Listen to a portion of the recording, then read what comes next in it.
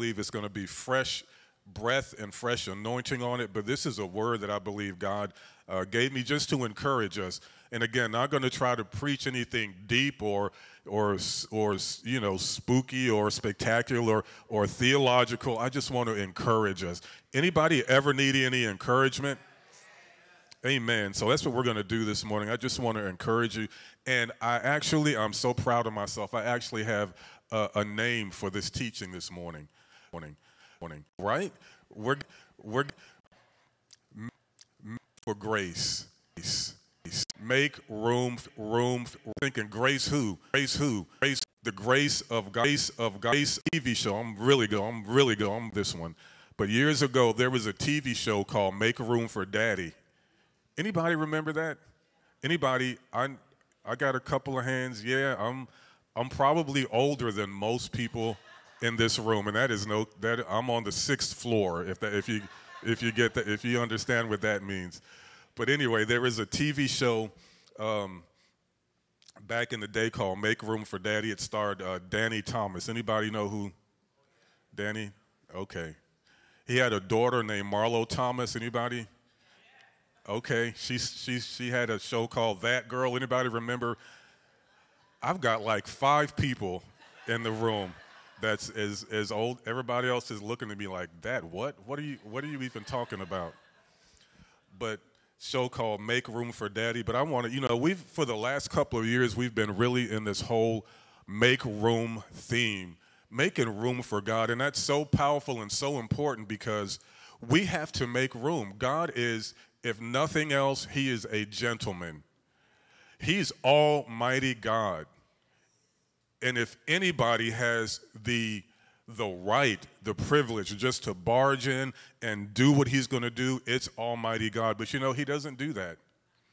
We have to make room for him. We have to yield to him. He's provided all of these wonderful things, and that's what grace is. Grace is all about what God has already provided. You know, David said it like this in Psalms. He said, This is, to me, this is like the perfect picture of grace. David said, and, and most of us know Psalm 23, You have provided or prepared for me a table in the presence of my enemies. That is a picture of grace. God has already provided the table. He's laid it all out. He's, he's put everything that we will ever need in life on that table. The Bible says he's given unto us all things that pertain to life and godliness. He has already provided for everything that we will ever need in this life. It's already on the table. And all we have to do is by faith access the grace that has already been given to us. Pastor uh, Lynette uh, encouraged us on the those who uh, get on the, Saturday, the Sunday morning prayer call Grace is God's step towards us. Like, I've done all of these things, I've laid them out before you. And faith is our step toward Him.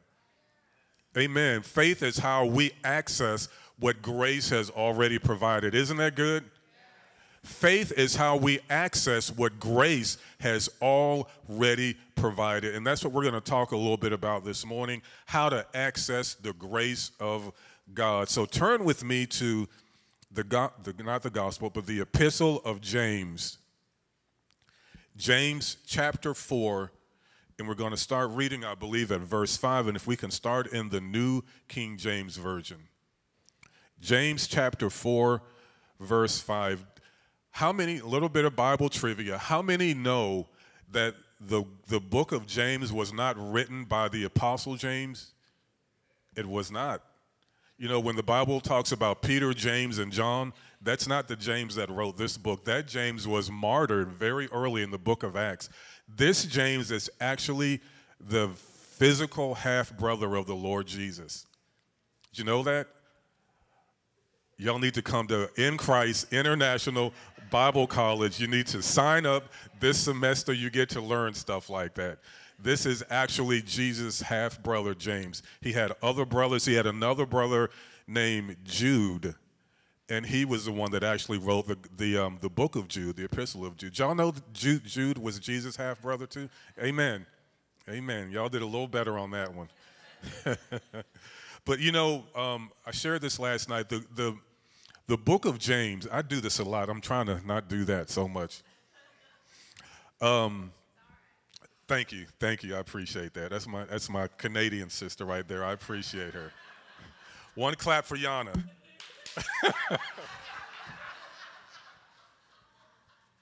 She's always just a half second behind everybody else, but it's okay. Um, we, we love it. So, anyway, the book of James was really, James was writing to the persecuted believers.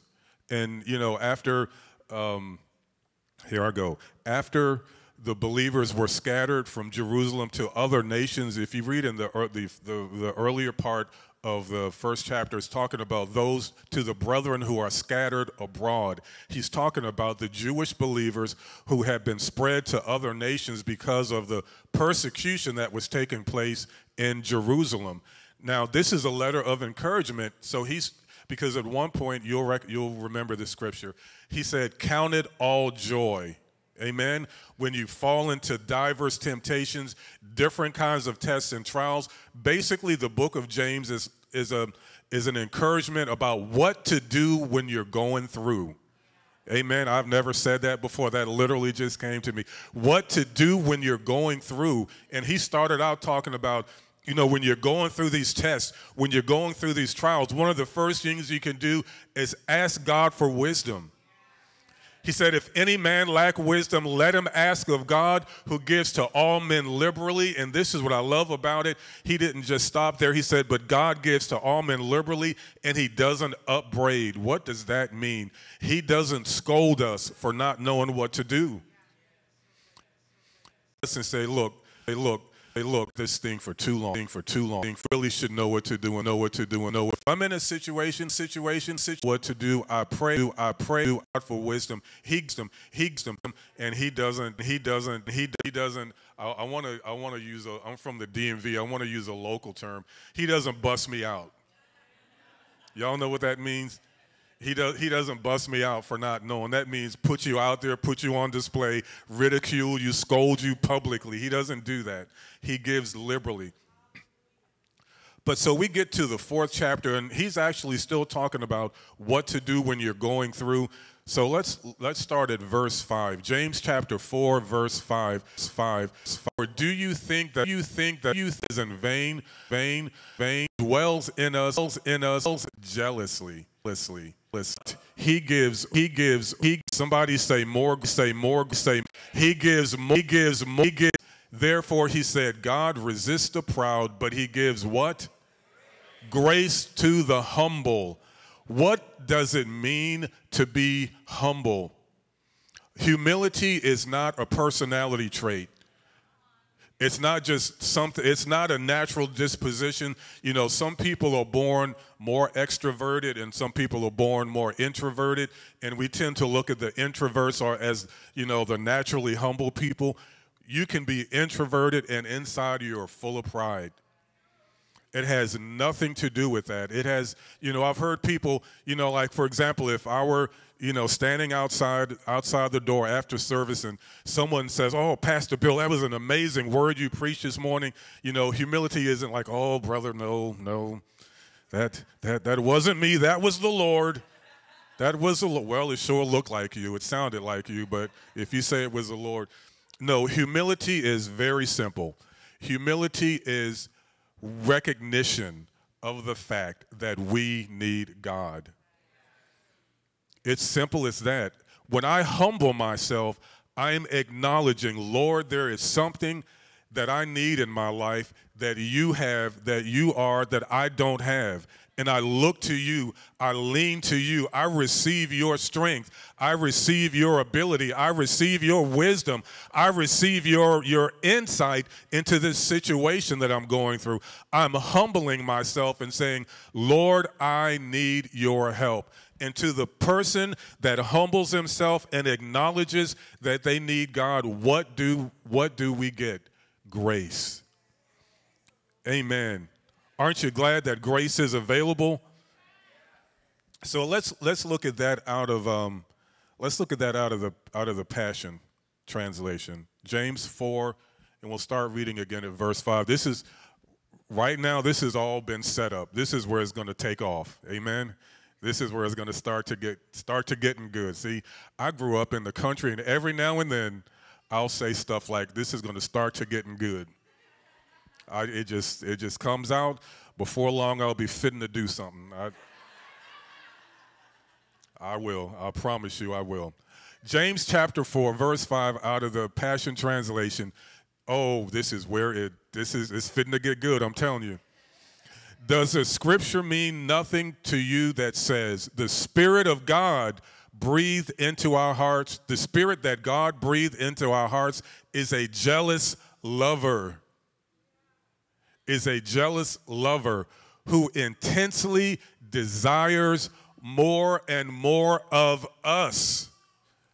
He intensely desires more and more of us. I want each and every one of us to think about that individually, think about that personally. God wants to experience more and more of you.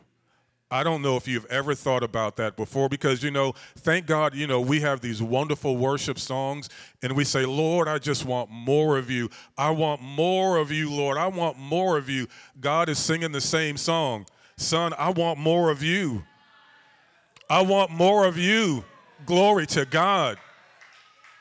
He wants to experience you. He wants to encounter you. He everything that he did in in Christ, his his life, his death, his burial, his resurrection, his ascension, his seating at his own right hand was for one purpose because he wanted to experience you. He wants to experience us. It says he is a jealous lover. He doesn't want anybody else to have the place in our heart and in our lives that he has. He doesn't want anybody to be even close, not even a close second. I heard a pastor put it this way one time. It's, it would be like, you know, I'm, I'm married. My wife is teaching in children's ministry right now. But if I went to my wife one day and said, honey, out of all the women that I love, I love you the most. There, there are a couple of close seconds, but, but I love you. but I love you. That's how we do God, honestly. That's funny, but we do. That's how we do God. Like, Lord, of all the of all the things in my life that I love, I love you the most. My house is a close second my my car is is pretty much up there too. God is like, there's I don't want any other gods before me. Thou shalt have no other God before me. In other words, there I don't even want anything in my space, nothing in my, nothing in front of me, nothing between me and you. Are other things important? Yes. Is my wife important? Absolutely. Are my children important? Yes. But God says, I need to occupy a place in your heart and in your life that nobody else occupies and can't even be close. Hallelujah. And when that happens, look at what he says next. But he continues to pour out more and more grace upon us because he wants more and more of us, how does he go about getting more and more of us? By pouring out more and more grace. God experiences, he gets to encounter more and more of us by pouring out more and more, more of his grace. How does that work? How does that look? When we encounter and experience the goodness of God, it makes us, it motivates us, it stirs us to want to experience more and more of Him and to give ourselves more to Him. When you know somebody loves you, when you know that somebody prioritizes you, doesn't it make you want to just be with them? Doesn't it make you want, it's like, honey, what, what can I do for you? My, my daughter, when my, my middle daughter, Virginia, um, when she was about four, I'm laughing because it's, it's funny, but it, it almost worked. She was about four or five years old, and I came home from work one day and came home from work. Her mom was fixing dinner, and she came to me. She didn't go to her mom, she came to me and said, Dad, can I have a popsicle? I said, No, honey, mom's cooking dinner right now. You can't, you can't have a popsicle. She said, Daddy, I like your necktie. It's like, now can I have a popsicle? I almost wanted to give it to her. I really did. I really almost no, I did want to give it to her. But when and I, I and I knew she was I knew what she was doing, but it still worked. It still worked. When when you know that somebody's heart is towards you, it makes you want to be good to them. And here's the thing. Do we have any anybody in here in the medical profession? Our heart has chambers in it, doesn't it? Our physical heart. How many chambers does your heart have? Four. That's what I thought. Four. Your, our physical heart has four chambers. Did you know that our spiritual heart has chambers? We have rooms in our heart and in our soul. And we have the key to those rooms to be able to lock them and unlock them. Pastor Bill, what are you talking about? Where are you going with this? There are places in our hearts that we can hide, that we can reserve, that we can keep for ourselves, saying, Lord, I will unlock this room. I'll give you access to that one, but there's a room way, I'm about to date myself again, but there's a room, there's a booth in the back, in the corner, in the dark. Does anybody get that reference? I, I, see a couple of witnesses. There, there are deep, hidden places in the recesses of our hearts that we have to make the decision. God knows they're there, but we have to make the decision to give God access to those places. And He wants, he wants access so He can put us on blast? No, so He can heal those places. Everything that we expose to God, He heals it, He blesses it, He restores it. He's not asking for these places just so He can say, See, I knew it. I knew you had that place you were hiding from me. No, He's saying, Give me those rooms. Give me that chamber.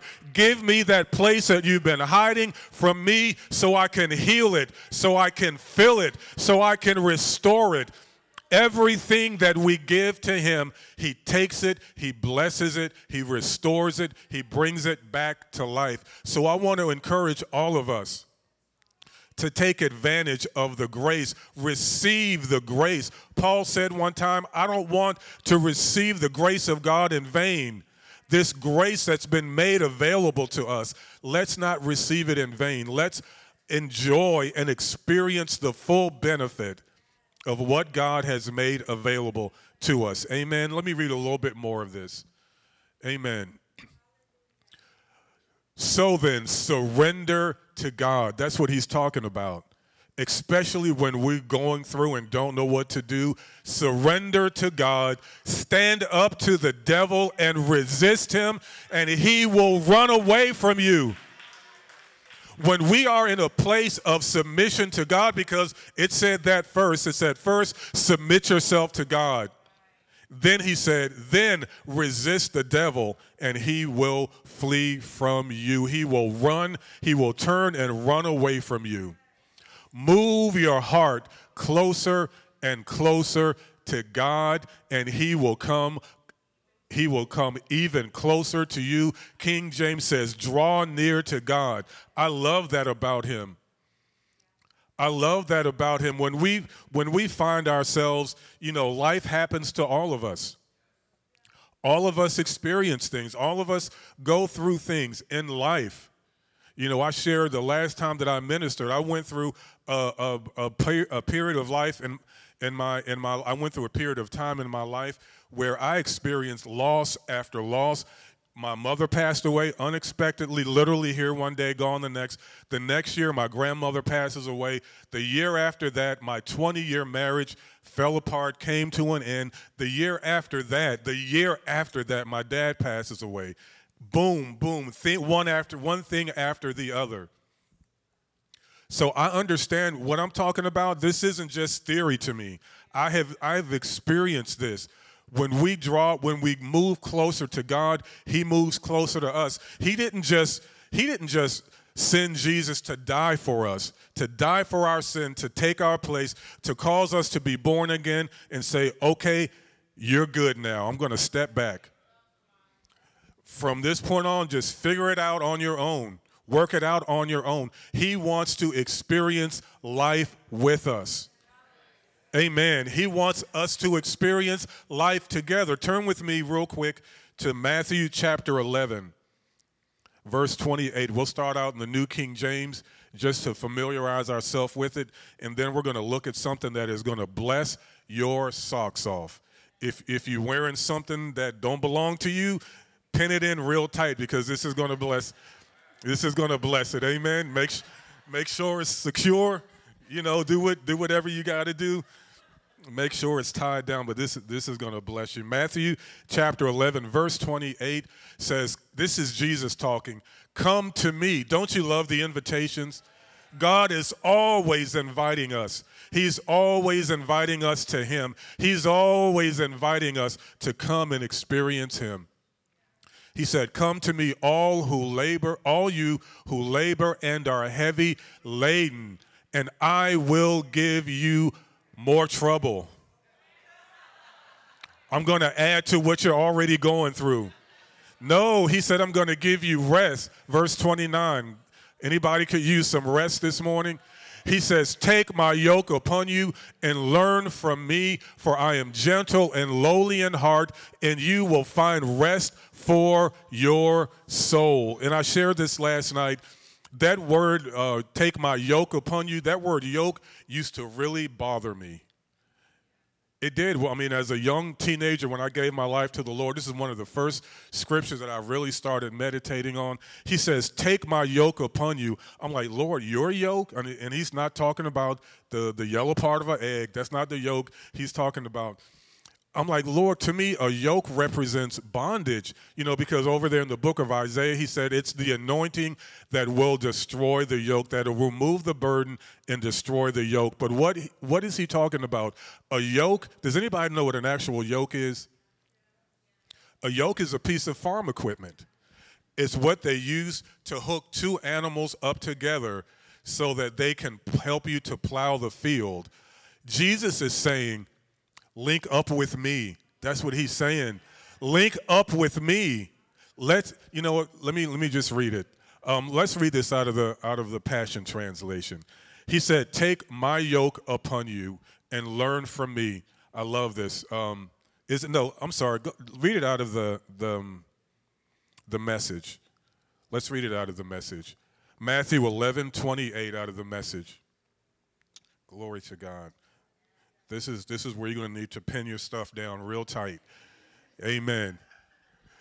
Are you tired? That's really what he's saying. Are you tired? Are you worn out? Look at the next part. Are you burned out on religion? Religion will burn you out. And you might be sitting there thinking, You're talking about religion. Isn't this church?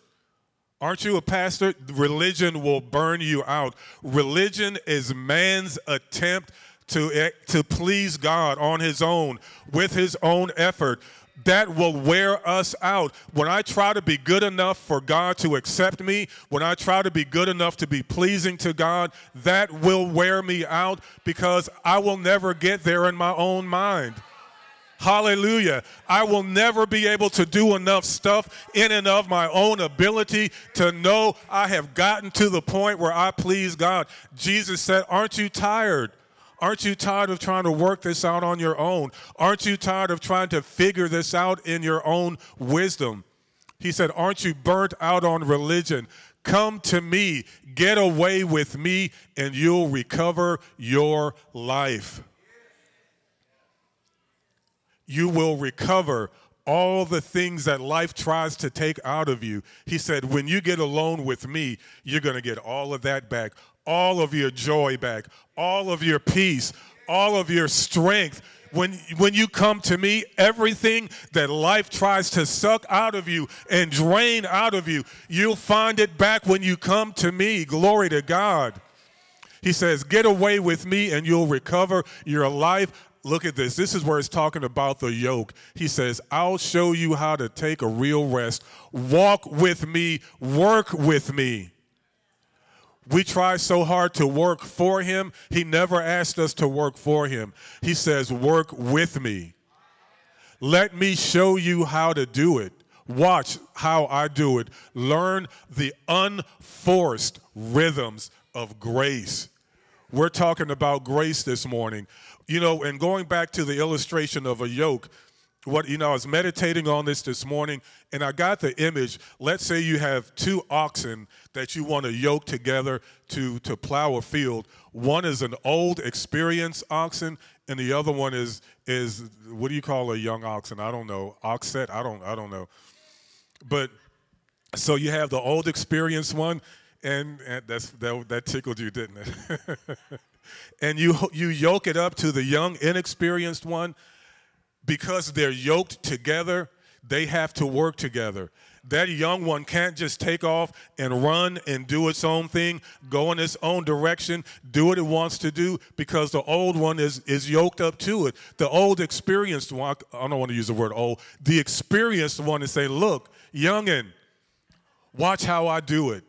Walk with me, work alongside of me. Watch how I do it, and then you'll know how to do it. That's what the Lord is saying to us this morning. Everything that you're going through, I have been with you. That, that's exactly what it looks like. Glory to God. They're yoked together. One can't take off and leave the other. They have to walk together. They have to walk at the same pace. One can't lag behind, one can't go before because they are yoked together. Jesus is saying, Look, I've, I've got this yoke and I've got an empty spot right next to me. Slip into that yoke beside me and walk with me. Hallelujah. Work with me. Watch how I do it, and you'll know how to do it. Everything that we experience, everything we could ever experience in this life, He has already experienced, and He is one. He has figured it out. He knows exactly what to do, and why does He always know, did He all even in His earth walk? How was he able to win in every situation? How did he know what to do in every situation? I will give you the key. Actually, he gave us the key. He said, I only do what I see my father do. I only say what I hear him say. If I don't see him doing it, then I'm not going to do it. It's like I am yoked up with my father. We're, we're yoked together. We're doing this thing together. If I don't see him going left, then I don't go left. If I don't see him going right, then I don't go right. We are yoked together. He's saying, hook up with me, link up with me, take my yoke upon you. And the good thing is, his yoke is easy. It's not burdensome. It's not wearisome. It's not ill fitting. It's perfectly made just for us. Why? Because we are in Christ. I'm gonna I'm gonna get ready to close, but I just want to read something to you that the uh, I was praying one morning about you know just something that I was experiencing personally, and this is something the Spirit of God said to me, and I just actually wrote it down just this morning. But whenever we struggle with feelings of insecurity, depression, inadequacy, we can be sure that we are seeing ourselves separate from Jesus we are in that moment, we are not seeing ourselves in Christ. Because if we see ourselves in Christ, we see ourselves victorious. And this isn't this isn't theological. This isn't just some statement of faith. This is how we live.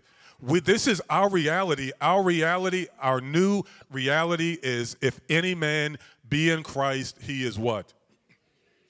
Old things have passed away all things have become new. We have entered into a, a, a, a, yoke with Him. We're walking with Him. We have to see ourselves as one with Him. We cannot afford, if I look at myself as separate from Jesus, I'm already losing. I'm already defeated.